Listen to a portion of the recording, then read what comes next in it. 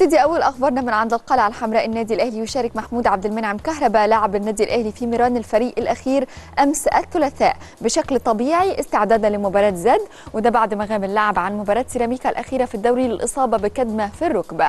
أكدت طبعا التقارير السلامة الخاصة بكهرباء وكمان إنه خلاص انتظم في التدريبات. كمان بينتظم عمرو السولية لاعب خط النادي الأهلي في التدريبات الجماعية بعد تعافيه من الإصابة بكدمة في الركبة وحصل عمرو السولية على راحة من التدريبات يومي الأحد والاثنين بناء على تعليمات أحمد جاب الله رئيس الجهاز الطبي بالفريق للتعافي من الإصابة اللي لحقت به خلال مباراة سيراميكا بالدوري.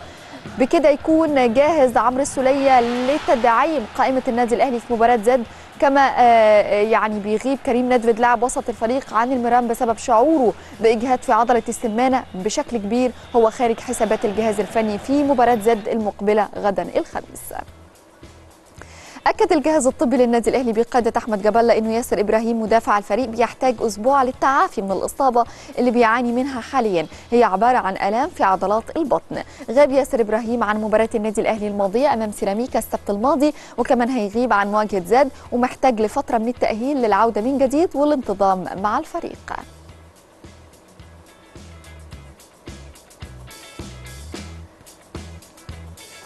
حرص الحساب الرسمي لرابطة الأندية المحترفة على الإشادة بحسين الشحات لاعب النادي الأهلي بعدما قاد فريقه للفوز الفوز العريض على سيراميكا بخمس أهداف في آخر مباراة للفريق.